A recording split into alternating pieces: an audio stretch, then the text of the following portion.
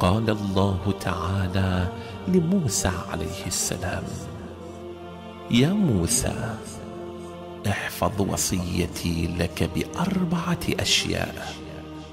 أولاهن ما دمت لا ترى ذنوبك تغفر فلا تشتغل بعيوب غيرك. والثانية ما دمت لا ترى كنوزي قد نفدت فلا تغتم بسبب رزقك. والثالثة ما دمت لا ترى زوال ملكي فلا ترجو أحدا غيري. والرابعة ما دمت لا ترى الشيطان ميتا فلا مكره